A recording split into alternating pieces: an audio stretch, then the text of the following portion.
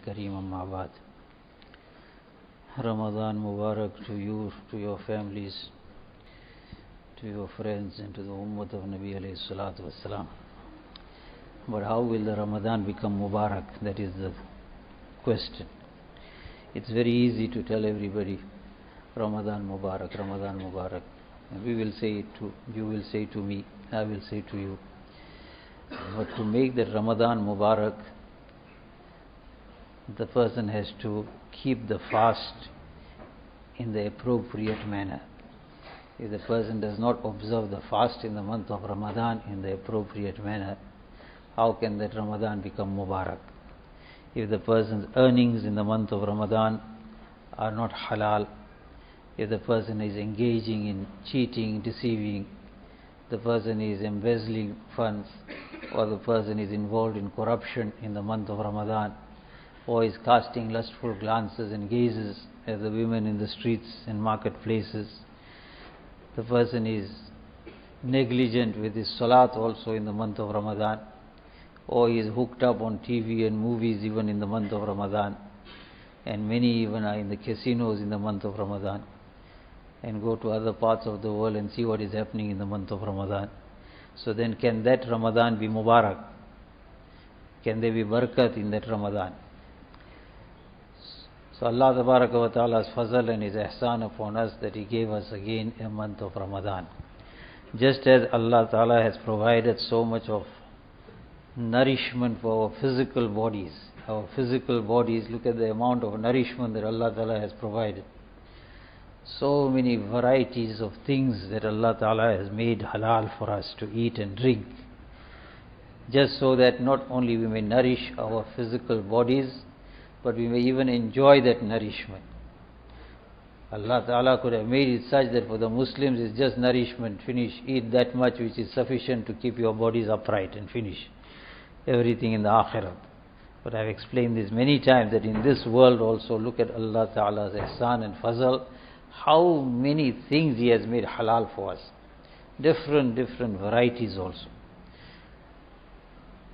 Look at the different kinds of fruit that's halal, different kinds of meat that's halal, flesh of so many different animals, if they're slaughtered in the proper manner, is halal. Vegetable kingdom, I think everything is halal. Look at the fish of the sea, halal. Variety of things. And yet it's just for the nourishment of that physical body, which is not going to remain forever in this world. After some time it's going to perish. Death is going to come and thereafter the body is going to put into the earth and that's the end of the physical body. But yet in this worldly life, so many things for its nourishment.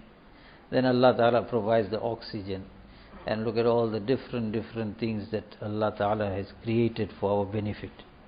So if He has given so much for our physical benefits, for our physical bodies, if Allah Ta'ala is giving so much, which bodies are not going to be even remaining forever in this world.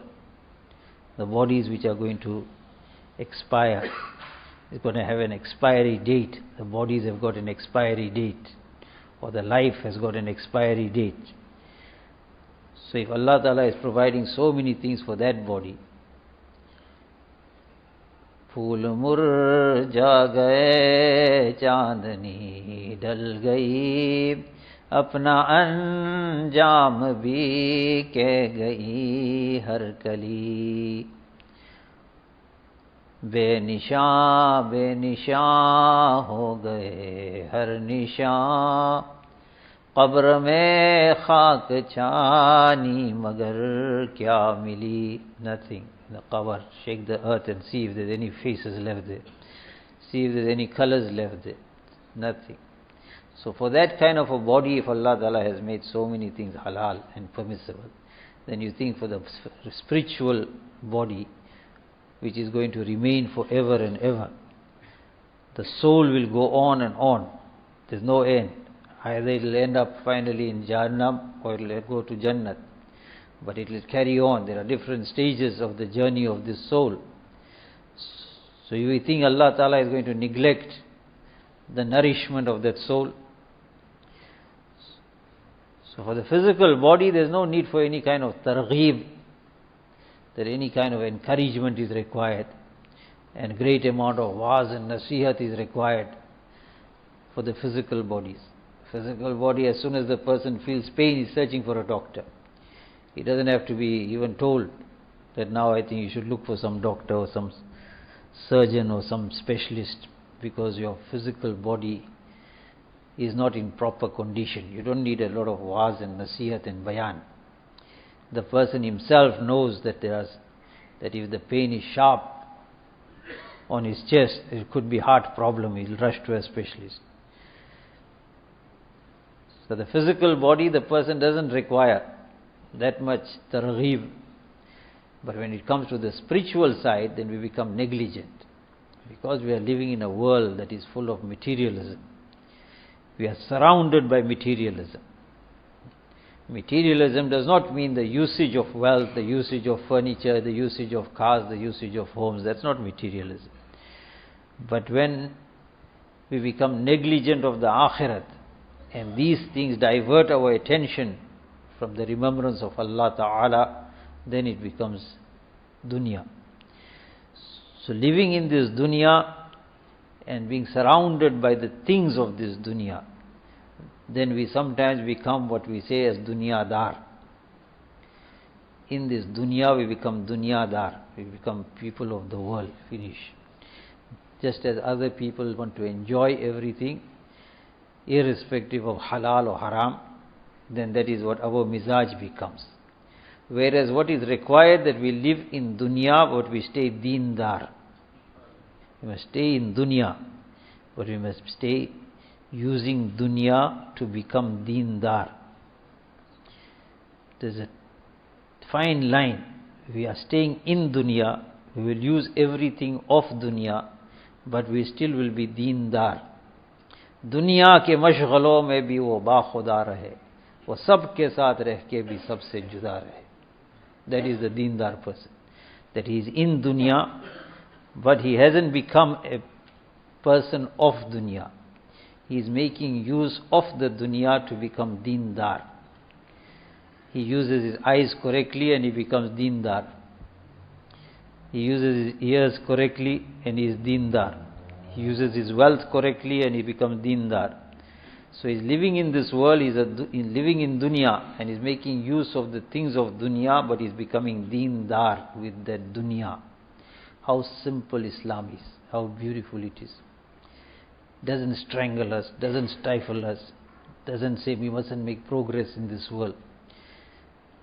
The only restriction it places is on those things which I have mentioned hundred and plenty times, which are harmful to the individual self, or harmful to his body, or his family, or to the society, or to the nation. Only those things which are harmful, Allah Ta'ala prohibits. So, amongst those things which Allah Ta'ala gave to us to make us deendar in this dunya is fasting in this month of Ramadan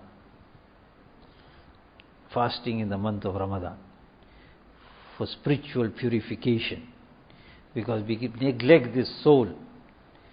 So now we are in this dunya, we are going to eat at Sehri time, we are going to make iftar again, but we are going to obey the ahkam or the laws of Allah Ta'ala regarding fast and the laws of Nabi alayhi salatu wasalam, and that will make us deendar. We are not prohibited from eating sehri time, iftar time, and the whole night the person has got. So that is all that is required. That in this dunya we become deendar. That's all. That's one lesson for the first night of Ramadan. If we understand this sufficient nasihat that we live in this world, but we don't become people of the world. We remain conscious of the akhirat conscious of the akhirah. Hubb dunya mustn't come in our hearts. The love. The hubb must be of Jannat. The love must be of Jannat. The love must be of Allah wa Ta'ala's countenance in Jannat. We must look forward to that. And this becomes like a bridge over which we cross into the hereafter. To cross the ocean, we require a ship.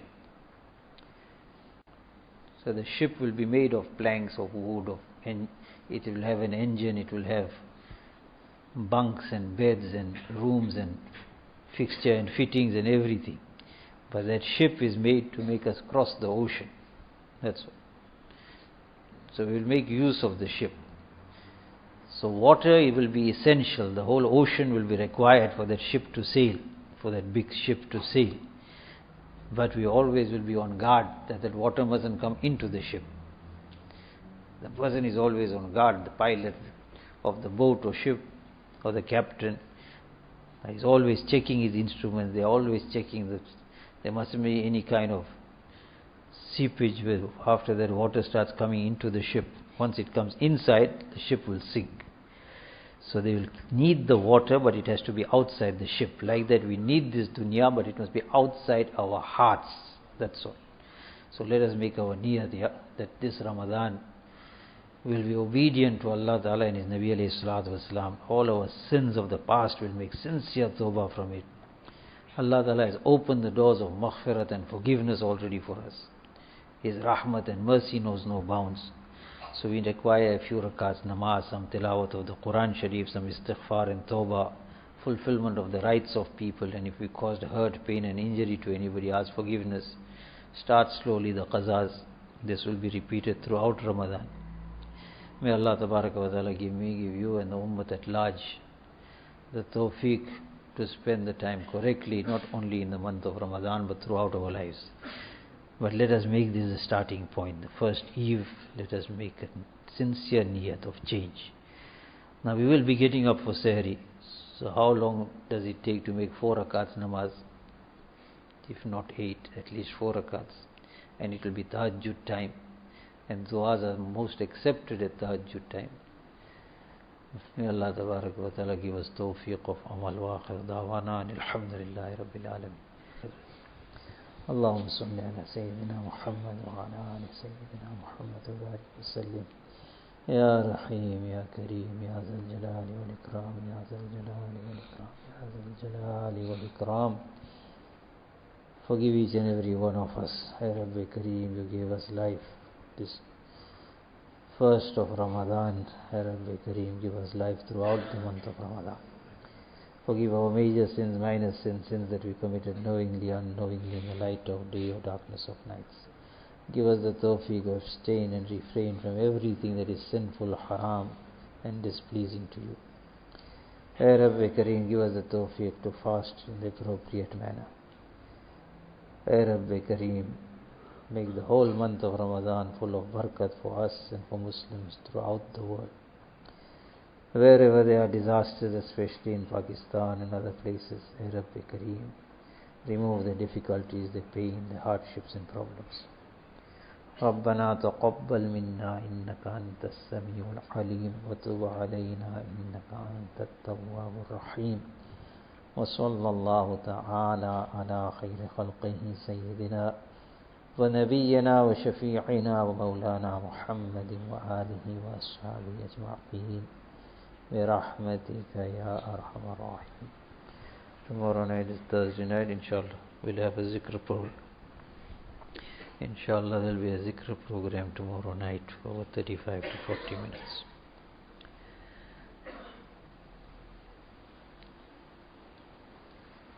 All we need is a mental conditioning of our mind. We will be sitting for the 30 minutes, 40 minutes, that's all. As it is, we'll go outside and we'll pass time. So don't worry about it.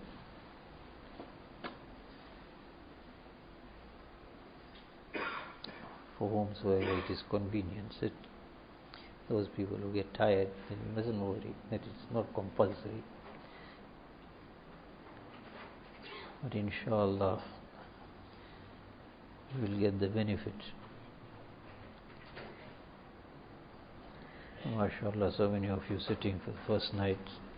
Allah wa ta'ala accept your sitting.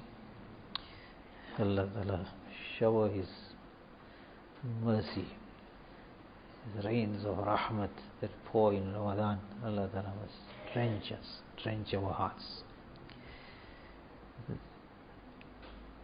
There's a kind of enjoyment that we must get in ibadah, zikr. Right, remove your cousin quickly. Just check whose car was that obstructing that person. Remove it.